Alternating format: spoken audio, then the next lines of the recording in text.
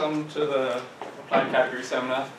Um, so I guess we had a talk last week, but this seminar, now that we've finished the course, is it's going to run weekly. Uh, it's it's some combination of a teaching and research seminar. So we have sort of we've had historically talks that have been quite pedagogical, um, but we've also had research level talks. We'll have one in a couple of weeks when we have a visitor. Um, I guess we had one last week. We're sort of in between. Um, it'll likely, as this semester goes on, it might switch to uh, a seminar that rather than having a sort of new topic every week, we'll have some sort of continuing topic through as we try and um, tackle some sort of student project that we're organizing or just research project that we're organizing involving, involving some categorical logic, some graphical languages, and building software to implement all of these things. Um. The room here, here. Okay, so, so the character of the seminar might change over the next couple weeks. I was just saying, um, with say some of you guys, we will might move towards uh, teaching the sort of foundation for some sort of project. But this talk is meant to be standalone. Um, it's meant to be quite gentle, um, just to start things off, and it's on. Um, in particular, just something I was reading this week. Um, this paper by David Ellerman um, called Partition Logic. So, the first half is going to be mostly pedagogical, and I'm going to talk a bit about some general category theoretic ideas, uh, and then just give a brief rundown of the contents of the paper itself. Um, okay, so in particular in the sort of pedagogical part, I want to sort of go over, I want to sort of talk about things from a more categorical viewpoint than I might otherwise do, despite being someone who talks about things in a categorical viewpoint all the time. But I want to get some basic definitions like monomorphisms and, and slice categories down, uh, because they're a good foundation for future talks in the seminar. So, part one is called a very abstract view power sets. Why I'm talking about power sets, uh, well, um, it's because because subsets are very important in logic. So in sort of say this basic form of logic or propositional logic, uh, what do we have? We have um, sort of we start with some propositions or some symbols um, going to write PQR, and so on. Um, and we have some operations like and, or, implies, not, and so on. Uh, let's just have them. Um, and so we can form expressions, um, and we form expressions these expressions, or formulas like P and Q. Um, and I don't know what else we can do. We can do not P, we can do not, not P, and so on. Right, so this is fairly standard stuff. Uh, and the interesting part is we have the, this sort of, we have the, all these expressions, and we can also talk about uh, deduction rules between them when one implies another. So we have things you'll be familiar with. Um, like P and Q implies, well, let's say entails P, or something like a distributive law that says if we do P and Q or R, that's the same as P or R, no, sorry, P and Q or P and R. Right? So we have this sort of abstract formal system, um, but we can interpret these things, interpret these things in uh, as describing power sets, uh, as describing subsets of some universe set. So um, we so in particular, this can be given semantics in terms of subsets. People, I guess, I'll also say models. Um, so we fix set, some set U, um, P Q and R and so on, these propositions just represent subsets of U. And um, these symbols kind of just represent what they look like. So this meet is the intersection, um, the join is the union, and then this not is complementation. Uh, and I guess implies I'll just abbreviate as not. So if P implies Q, it represents the subset, not P and Q, uh, or Q. Um, okay, so this is standard propositional logic, um, and has some sort of standard semantics for it. Um, but the idea here then is that propositional logic, sorry, propositional logic is a language or a logic for subsets. Um, the point of these deduction rules is that, well, the, the statement more precisely means that any deduction you make with the sort of valid deduction rules of this logic uh, correspond to true statements when you interpret them in, in any sort of model, in any interpretation of these things are subsets that you like. These things are always true about subsets. Um, so, so in particular, it's a, language for subsets. So it's a language for um, the power set, which is the set of subsets of U. So, what? How, how do we think about the power set? Um, if we want to sort of generalize and, and construct logical analogs to this, what is the power set? Um, so here's a definition. Uh, first, well, here's a series of definitions. In a category C, um, let me tell you what a monomorphism is. A monomorphism, um, let's call it M from C to D. So it's just a morphism, but I'm writing this, this hook arrow um, just because it's a standard symbol for monomorphism. Um, is a morphism such that we have this cancellation property. So for all, uh, what side do, what side do I want? Sorry, let's just say for all fg, um, these are morphisms such that we can form the composites f of m and g of m, uh, g composed with m and f composed with m. Um, if these are equal, then just f is equal to g. Uh, so this looks rather abstract, but especially if you haven't seen it before. But an example is an injection. So if we pick C to be the category of sets and functions, um, then uh, injections are monomorphisms. So how do we see this? Uh, here's an example. If we pick, say,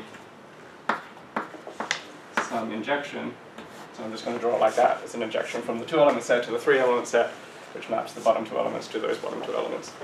Right? So if we call this m, um, and I have some function here, right?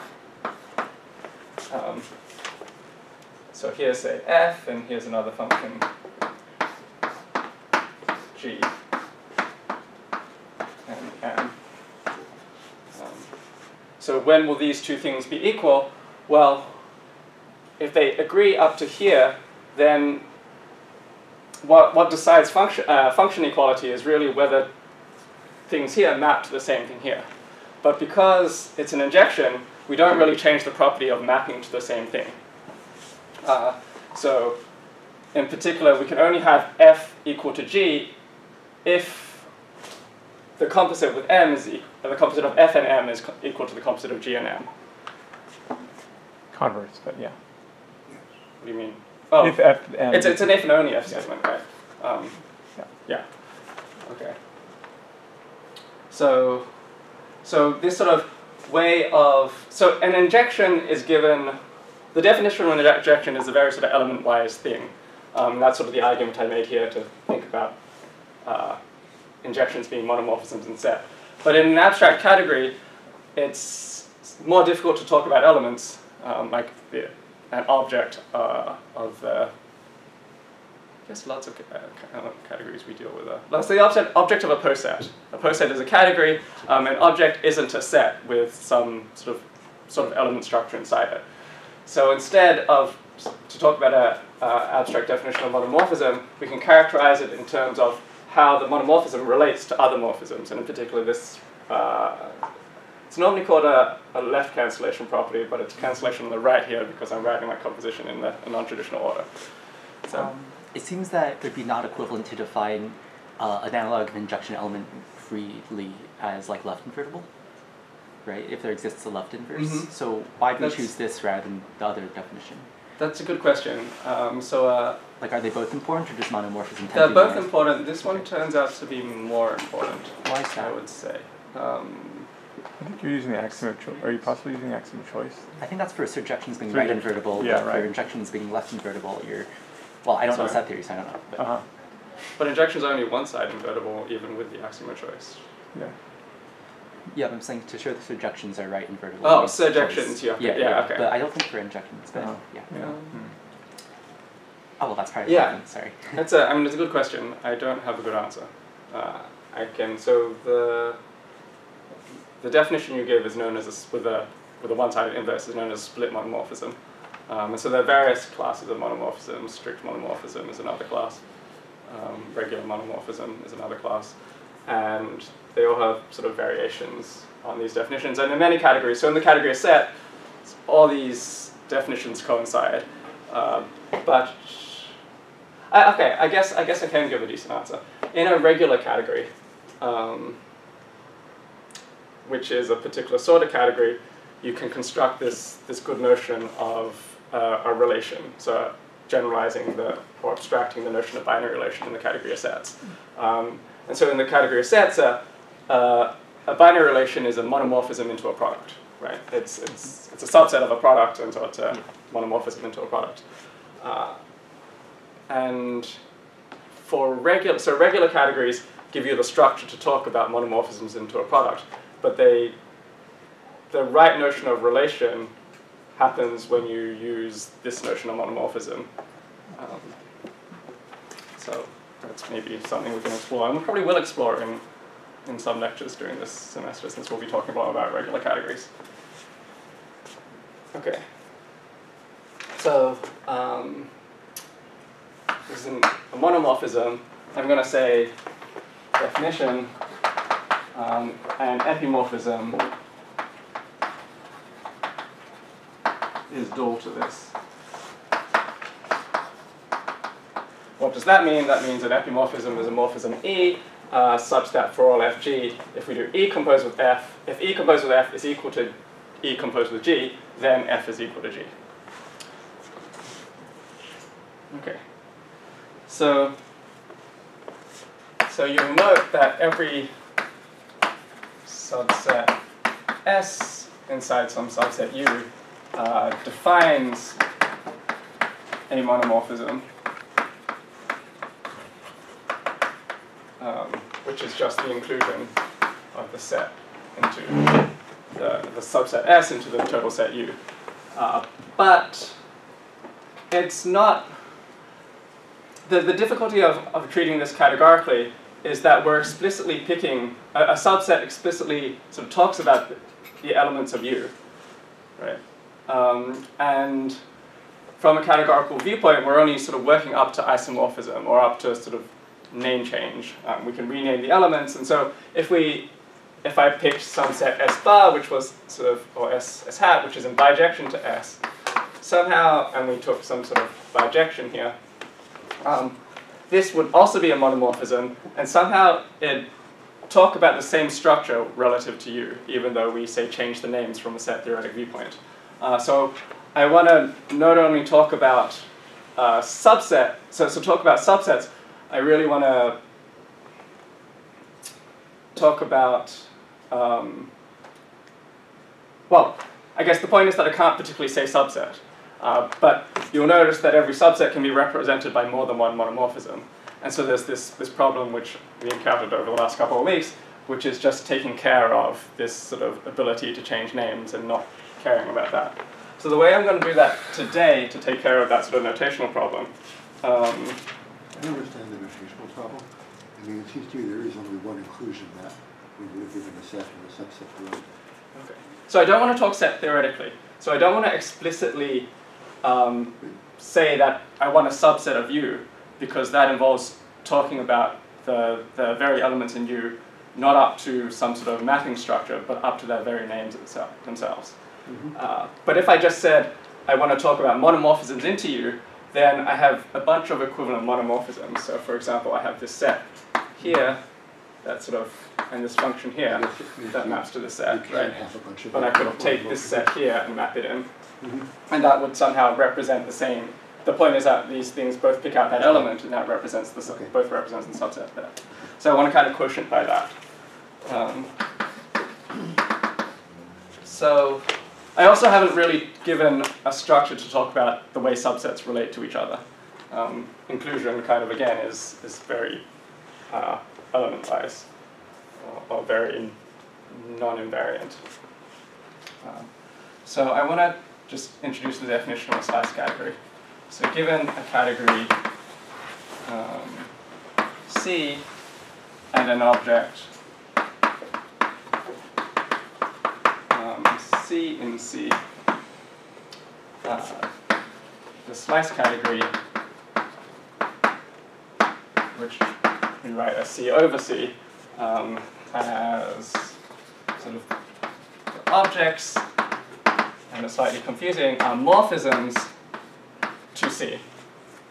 Right. So the objects in the slice category are morphisms in C. And the morphisms um, are given by, if I want a morphism, so if I want to talk about the Hom set from A to, to B, that, so, so A is a map from some object X to C, and B is a map from some object Y to C. They're both objects in the slice category. Then a morphism is a, a morphism from X to Y in C such that it commutes. Yeah, so this diagram commutes in C. Okay, so this is this is an, um, a sort of very simple seeming construction, uh, but it's an important sort of construction in category theory which comes up again and again. Um, although having said that, I should give some examples, and I didn't prepare any. Do you have any off the top of your head? Well- oh, there are plenty of examples. Alright, how about. Hmm? well, I mean, Z is initial and ring, so in schemes, everything maps into the spec of Z, right? That's Mhm. maybe a good example. Well, the saying the slice category is equivalent to the original category. In that case. Yeah, but, but the cool thing is they can change things to not spec of Z, Ah, but spec ah. of other things, right? Right. Yeah. Okay. So, um, so here, and for an example of a slice category, um, which pertains to the topic at hand, if we fix some set U, I can consider the, the category um, of monos over in set sliced over that set U. Uh, so what is this? We can consider the, given a category C, we can consider the, the, the subcategory which has the same objects, but where the morphisms are just the monomorphisms. Um, so for that to be true, you have to check that the identity map is always a monomorphism. That should be obvious from the definition. Um, and you have to check that the composite of two monomorphisms is again a monomorphism, uh, which is a fun exercise that I encourage you to do. It takes a few lines once you see it. Um, Uh, don't you need maps that are not monomorphisms to define monomorphisms in a category? So if you take out all those maps, then, okay, so the monos in set are not the monos in the category mono set Mhm. necessarily. Actually, oh, they are still. They're also injections, right? So- Yeah, okay.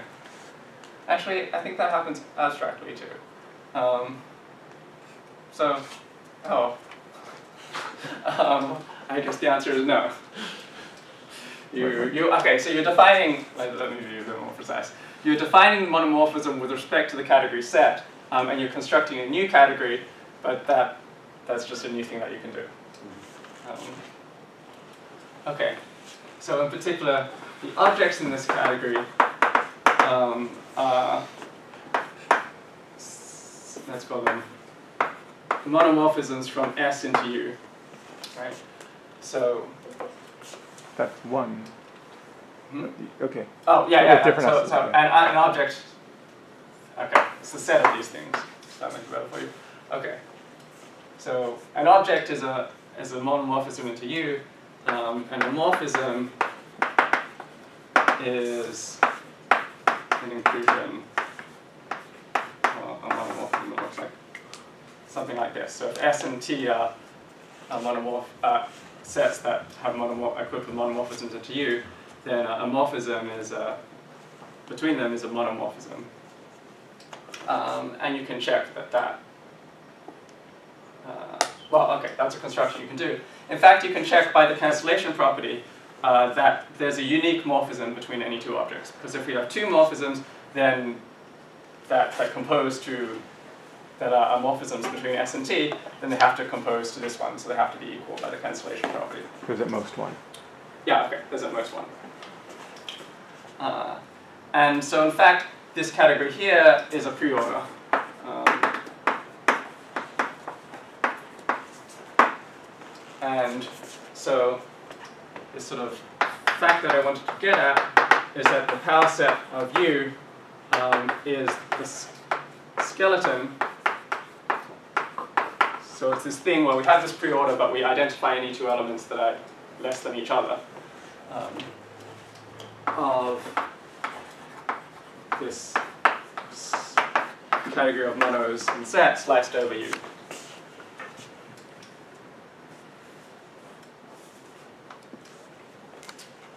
Okay, so what does this talk about? Um, I want to get to partition logic. So in this, this talk, um, I want to dualize this whole thing picture. And uh, so in this talk, uh, we consider these categories or these lattices, pi u, which is e- uh, the dualization is. So there's two ways to dualize. One is that What is, Um, what is P of U? I didn't Power power set. Okay, this this is Oh, a power set thank view. Thank you. Um, so one thing that one structure, one way to describe the structure that we're considering is to change set to the opposite category of the category of sets. So this is a category where we just reverse all the arrows. Um, and so pi of u is the skeleton of monos and set up sliced over u. Um, but another way to phrase that is instead of dualizing this thing, is to dualize the other words. So it's the skeleton of the set of epis in set uh, co-sliced. Okay, maybe I'll do. Do you like that notation, David? Okay, co-sliced under U. So this means that the, the objects are, have a, equipped uh, an epimorphism from U to some other set up to equivalence. Um, and in particular, these things are, are partitions. So Could you just write the equivalent thing you said before? That's mono and Yeah, set up okay. you. So an so a an object, or this is just a, a poset, so you might think of these just as elements, are epis, uh, so equivalence class of surjections um,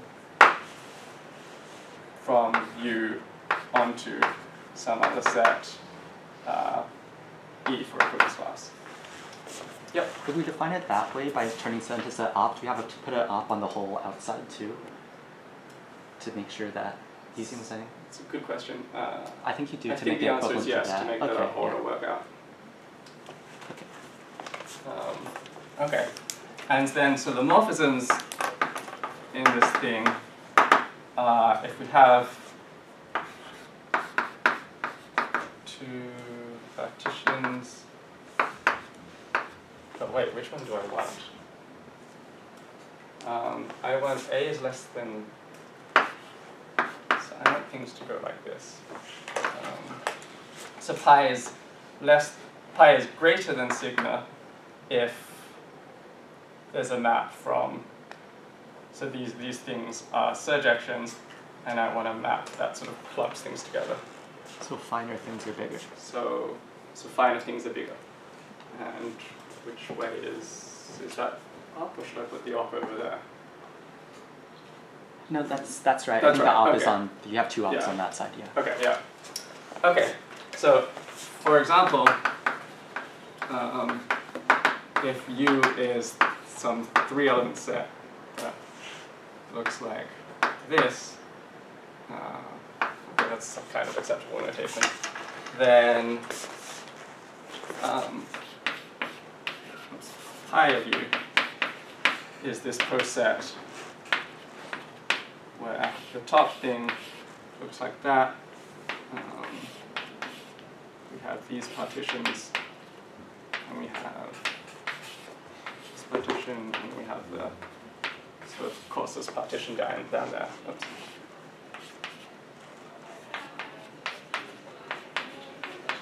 So I'm drawing a partition uh, as the circles represent the elements of the set E, the dots represent the elements of the set U, and then uh, a dot maps to the circle that is in. Yeah. Could you just write that like with all the ops? I'm just having trouble parsing. Yeah. Ah, okay. Equal to mono set up sliced over U up.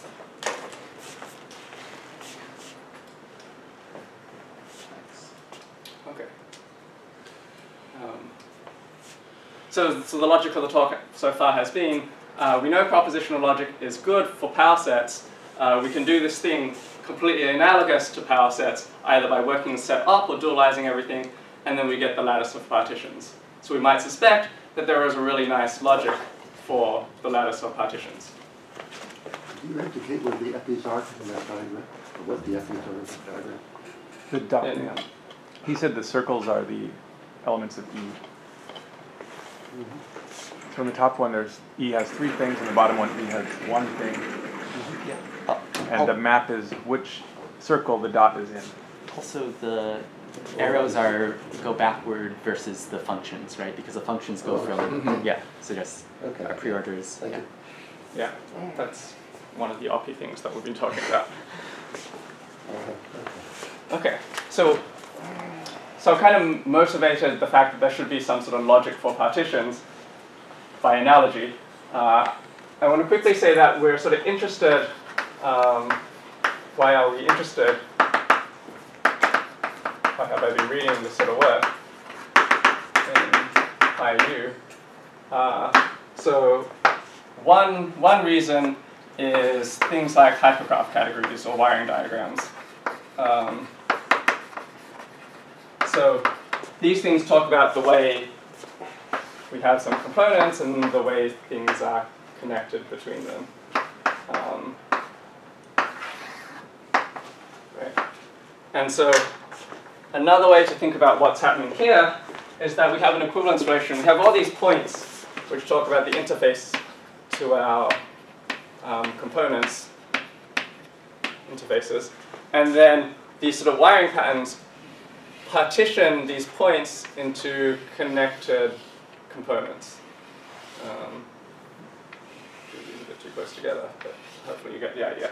There's the set here of 1, 2, 3, 4, 5, 6, 7, 8, 9, 10 elements, um, and it's, we have a map from that set of 10 elements to a set of 5 elements that sort of describes when, when two ports, which might be, say, terminals on some circuits, are connected. And so having a good logic to reason about uh, the way systems are connected uh, is, is something that can come out of a study of the logic of partitions. Um, and this is, this is not only just for circuits, but as we sort of argued in the course, um, like logical expressions or variable sharing things. You gonna give us an example of a partition logic that's not a subset logic, or vice versa? Sure, in fact, no partition logics are subset. Logic. Uh, like no partition lattices are so. Oh, okay, you have that. You have the boolean. That's kind of boring. Um, they're very different, uh, and I'll get to that in a moment. Um, another example, if you remember, if you were here in November, um, there was a talk by David Myers, uh, which has been sort of, which sort of led to some work David Spivak and I have been doing um, on, which we've put to term behavioral Mereology. Mereology. Um, and the idea here is that if I, if you want to talk about sort of, it, it, so Mereology is the study of parts, or um, the way parts relate to each other. And if you're thinking about a system like, say, say my arm, um, my hand is a part of my arm, and how that's expressed is the fact that you can have sort of some set of behaviors of my arm, and every one of those sets induces or restricts to a behavior of my hand. So uh, if I have sort of a set behavior of an arm, there's a map, a surjection from that to the behavior of my hand. Um, and so the point of this work is to try and think about, say, if I want to think about uh, whether two things are parts of the same whole, uh, what we're interested in is how constraints placed on, on this thing, on, on one thing, are sort of related or transferred to constraints on the other. So say the ends of this chalk are part of the same whole, so if I do something to this end, this end has to do something. Whereas these two pieces of chalk are part of different wholes, so if I do something here, that thing can do whatever it likes. They're independent. Um, but again, we see this sort of partition lattice um, and talk about the way constraints pass between them. Oh, yeah. Okay, so let's get to the logical structure of what's going on. Uh, actually, I want to introduce one more notion. Um, so in, in sort of subset logic, it's very useful to talk about uh, elements. Um, and so why is that? One way to see why it's useful to reason about elements is that elements are this thing called a separating object. So an object um, S in C is a separating object.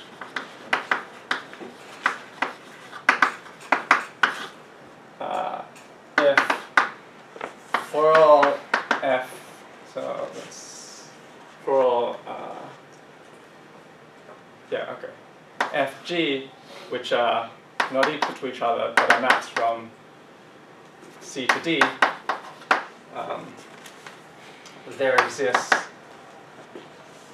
a, map, let's call it x from S to C, such that if we do x then f, it's not equal to x then g.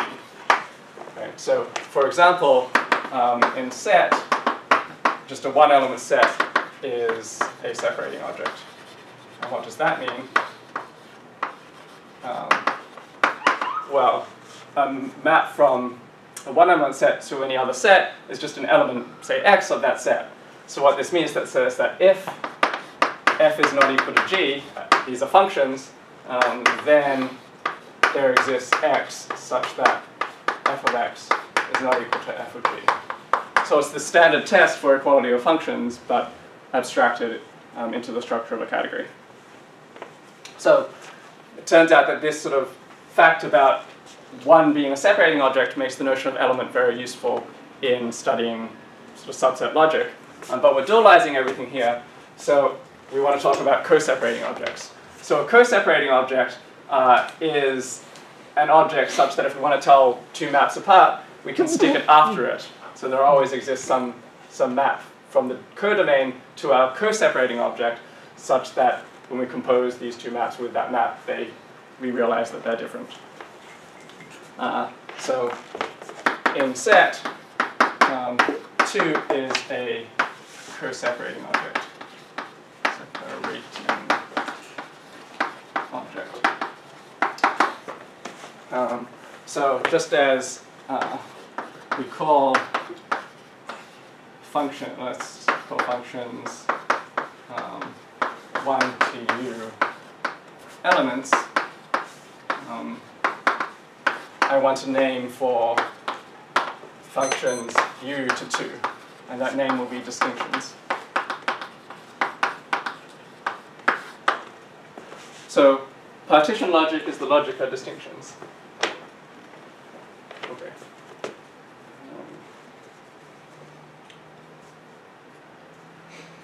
So is a distinction a map to two or a map to two up to isomorphism of It's two? a map to two up to isomorphism, Okay. um, just like an element is a map from one up to isomorphism. Um, yeah, I'm just dualizing everything. Isomorphism up two. Okay. Yeah.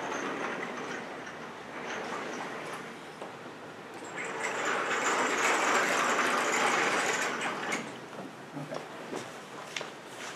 So.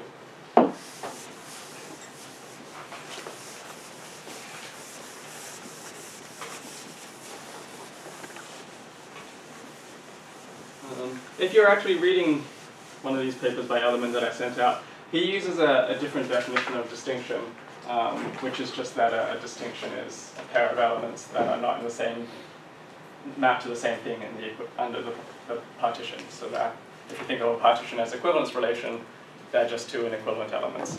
Uh, but I think that definition is not as well motivated and is responsible for parts of the paper being sort of a little obscure. So two is partition. I will actually tell you some stuff about the logic now. Uh, okay. So partition logic is about distinction. So a partition describes what distinctions can be made. So, uh, if I have one of my pictures of partitions, let's something like this. Um, what is a, a distinction? What is a map to two? Well, it's a way of dividing these five elements into two different sets, right? The one that maps the first element to two and one that maps the second element to, where we don't really care whether it's the first or the second. So for example, this is a, an acceptable uh, distinction of, of the partition. Um, similarly, this thing is an acceptable distinction, um, but something like this is not acceptable because it, it slices through partitions. Um, so more formally, um, the idea is that, that we're interested in distinctions because they sort of let us query, this, this co-separating property lets us query the structure of our partition. And so the way we do that is that if we have a partition, so um, if U to E is a partition, um, we say that some map to 2 called D, um, so D, that thing, is a distinction, so if pi is a partition, then D is a distinction of that pi can make, or a distinction of pi, in the same way that something would be an element of some subset, if there exists uh, a map here so that these things commute. Um, so what, what this says is that if I wanted to, say, get this yellow distinction, uh, I can map these two to one side of this partition and this, this part to the other part.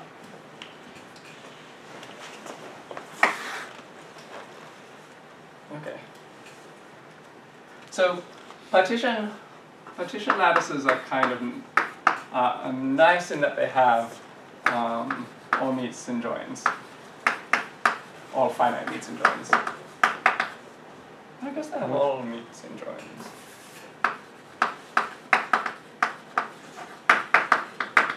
Um, but I'll tell you the finite ones.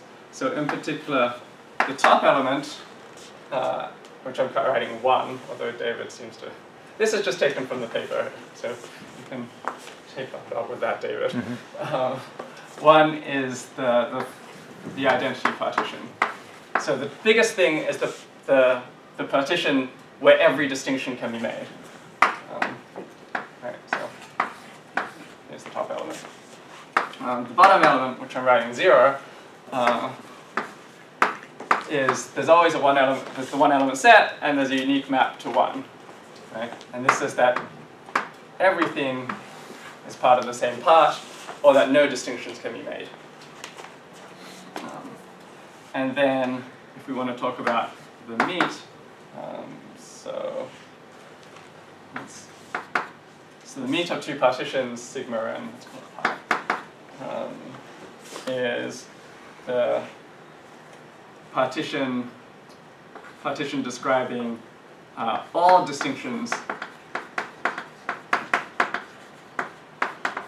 that can be made or that are all distinctions of both sigma and pi. So in particular, uh, what does this look like if we have some thing here and we take it to meet with say let's do this thing. So they're both partitions on the same four element set. Um, and the meet of these two partitions uh, is the lets us make any distinction that we can make in, in both of these things. So it's Wait, shouldn't Sorry. it be? Yeah, shouldn't shouldn't it be? Yeah. So let me Wait, find isn't that the, example. shouldn't meets make things coarser? Yes. Yeah. So it looks like this. So we can make this distinction in both things. So it's the distinction we can make here. Uh, but we can't make, say, this distinction in both. So it's not a distinction of that. Okay. Uh, the the join of things is all distinctions of either, so this is inclusive, um, sigma or pi. So, So there's enough to tell you the, the partition to know all the distinction you can make out of it. yes, Ha- Do you have a that's quick, the do you have a quick definition of co-separating, right? Um, It's enough to know. You, you know this map if you know all the hmm. all the distinctions. And Here's an example of a join where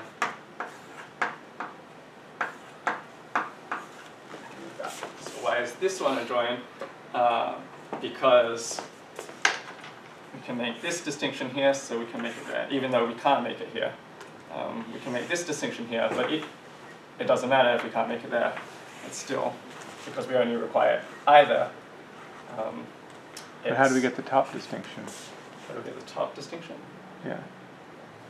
The one above the one you just did. Oh, So there's like a generative. yeah, it's a generative. We have to take closure. Okay. I should actually. Under, compl- under complement or something? And uh,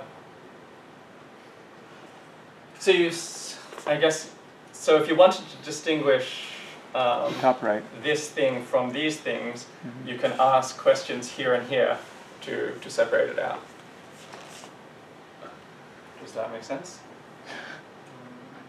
Enough for now. Yeah. It's a, yeah, it, that requires some thought, but it can be done. So, so, so I guess you're using like the Boolean operations on two, right? You can Yeah. say, right? Mhm. So that's I think what generates. Yeah, there's another. So if you describe things in terms of equivalence relations, then this is just the intersection of the equivalence relations, and this is the transitive closure of the union of the equivalence relations. Uh, and so, the, the reason I phrase things in terms of distinction is one, because it's motivated by this notion of a co-separating object, but two, um, it, it sort of has the and, this is, has a flavor of and, and this is a flavor of or, which matches our intuition for joins and meets.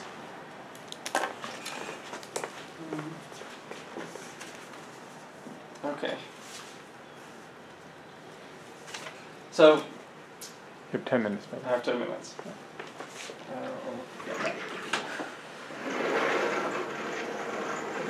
So, partition lattices are nice in that they have this, well, that they are lattices, they have meets and joins.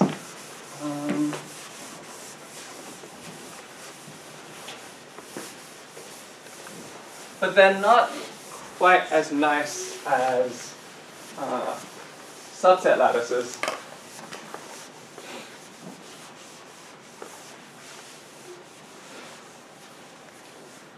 For a reason I'll explain. Um, okay. One, one thing first.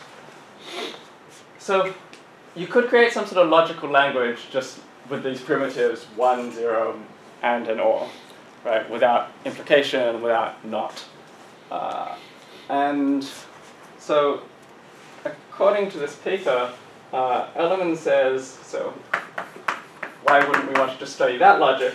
Well, in tautology, um, tautology, um, in a sort of logical theory, is an expression that is always equal to 1, true. Um, sort of means this in every, equal to 1 in every model. Um, but idea is that true is always equal to true. Um, but something like true uh, or some other proposition is always true because, well, true is true. So, but. Like P and Q equals Q and P. Oh, yes, that's another example. So, oh, wait, no, that involves equals. I haven't. So what are you, yeah, so it's just the things with one in them?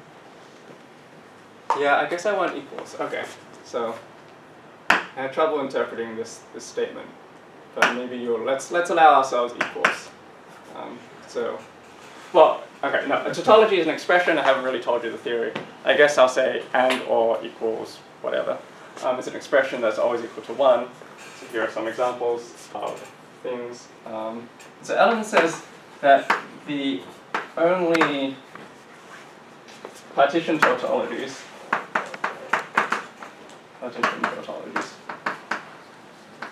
Um, and then he sort of is vague, but I think what he means is in one, zero, and or equals um, are, the are trivial, are the trivial ones. No, no implies? No Oh, I guess you can get implies, I haven't told you how to okay. construct other trivial ones. Um, What's a non-trivial tautology and Uh, so a non-trivial tautology logic. in, in subset logic is the distributive law. So he, I mean, you know what this is, but I'll write it out. So this is something that is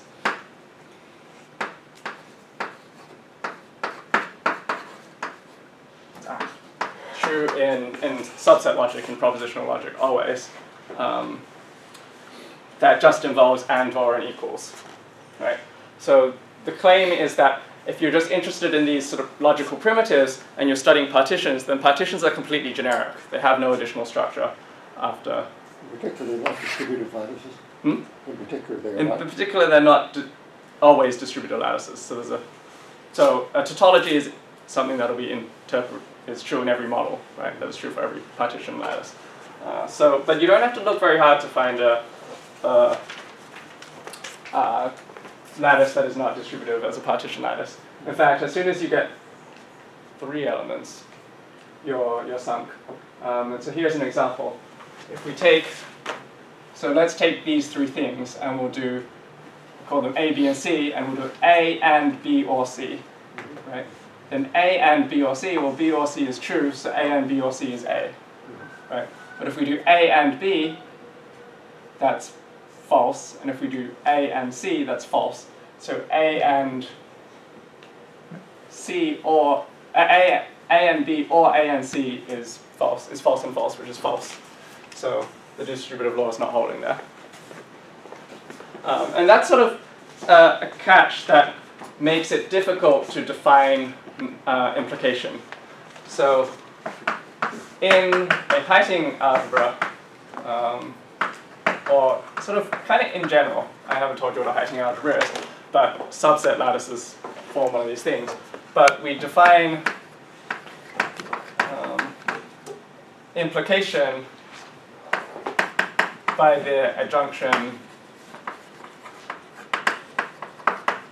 um, that C is less than A implies B if and only if uh, C and A is equal to is less than or equal to B.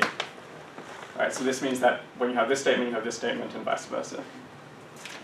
So The parentheses go around the C, uh, and Yeah. Uh, so this is the usual. So uh, in other words, um, is this kind of analogous to a hom object, uh, but it's uh, so implication is right adjoint to meet. Is the general way to define implication with nice properties. But if if you have a right adjoint to meet, then meet is uh, meet preserves colimits or, or joins. So this, so you only get an implication or you only get an adjunction of this form when meet distributes, meet preserves joins or meet distributes over joins, in other words. So because we don't have distributive lattices, we don't have this sort of standard definition of implication. And so what I think is, is one of the interesting parts of this paper is that uh, proposes a, a definition for implication in partition lattices that seems to have really nice properties. So I'm going to tell you that definition and then some nice properties, and then I'll be done. So in a partition lattice, um, define, so we have two partitions, sigma and pi, and we define sigma and pi to be the partition, oh, let's get that, to contain all distinctions either in pi or not in sigma. So this is similar to this. This has the flavor of this sort of Boolean definition of implication as. Uh, And you have to close up under, you have to close up under under the same sorts of things you did there. I don't think so here. Oh, Um, it's automatically a partition, okay. I think so, but I haven't worked this through, and it's, this is a different viewpoint that's in the paper.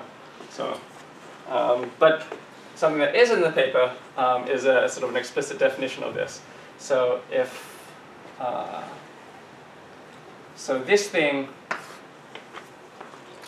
What's some way of thinking about this thing? Well, if we have for each part um, d of pi, what we do is we see um, if there exists some part c in sigma such that d cont is contained in c, then we we atomize. We we divide p up into uh, we divide this part up into uh, the, the largest partition on on b. what is that part distinguished from a partition? Uh, if not, leave Some alone. element Uh, of part it. isn't, so a partition is a collection of parts. So this partition has three parts. Thank you. Right. If not, leave alone. Um, so this is better understood through an example. So if I have, say, a five element set, and I have this partition sigma, um, and let's say one, two, three, four, five, this partition pi, then sigma implies pi is the partition. Uh, so for every part here, for every part here, I check whether it's completely contained in a part here. It is, but it doesn't matter, it's atomized already. We see, check this part, it's not contained in a part of sigma, so it remains. But we Whoa. take this part, and it is contained completely in this part, so we atomize that. And that gives us the implication. Um, it's kind of strange, but it has properties. Um, so one is that sigma implies pi is always, sorry, that's a zero. If we take false and we ask does it imply pi, that's always equal to true. Um, that's a nice property of implication. Another thing is that pi is always less than um, sigma implies pi for sigma. Uh, that's basically because we did this, what we did is we started with pi and then we just atomized some parts, right? So that's only going to make it bigger. How does less than compare with implies equals true? How does less than, if A is less than B, does that mean, is that the same thing as A implies B is equal to one? Uh, yes. So we have this thing, which was the next thing I was going to write down for the question. Um, I'm not sure why I'm switching to tau. But so this thing is true if, and so we can, because 1 is top, we can consider that as an equals. So sigma implies pi is true if and only if sigma is less than pi. Um, but the generic, this sort of the adjunction would hope for, which is the adjunction where we place, replace 1 with tau, and we do a tau and sigma uh, here, um, this thing only happens in one direction. Um, if this is true, then this is true. The adjunction condition would say the other one direction should be true, but that's not the case, and the, the counterexample to that is the lack of distributivity. Um, okay, so there's also, uh, we can define negation, so not pi is equal to 0 implies pi, wait, sorry, pi implies 0. Uh, would be not sigma. Not sigma is sigma implies 0. Um, and then there's this thing that Ellerman introduces, which is sort of interesting called sort of a pi negation. Um, but that's just an alternate symbol for so this thing, 0. Sigma implies pi. Um, okay. So why introduce that? Let me tell you some You're kind of over time. theorems. Yeah, okay, I'll write out two theorems.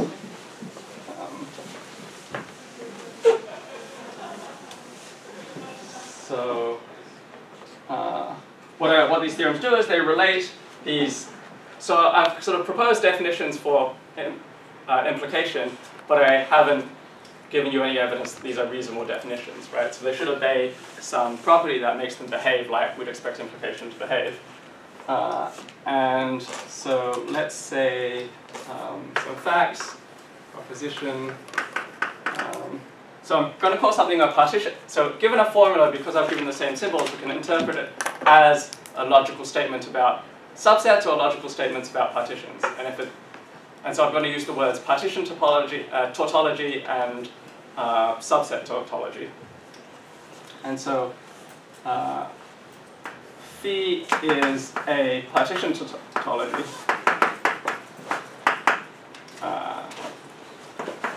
Implies that phi is a subset topology. tautology. There's one fact, um, and you can sharpen that to uh, phi is a subset tautology if and only if this construction called not pi, not pi, phi uh, partition. Let me finish this. Tautology. Okay. So For what, what- this means, this this not this pi negation is just implies pi, and this thing is called the Gödel construction on, on phi, but basically it behaves like taking the meet with pi. So you take this formula and you take the meet with pi everywhere. You mean for all pi? what? Uh, no, For any given, so. well, phi is a subset The- topology for which pi? For some pi? Maybe that's not interesting. Maybe it has to be for all pi. Yeah, this is what the theorem statement said, and I didn't really get into the proof to figure out why. But the point to notice that I'm trying to get across here at least is that these definitions seem to correspond nicely, seem to have similar properties to the, the classical definitions.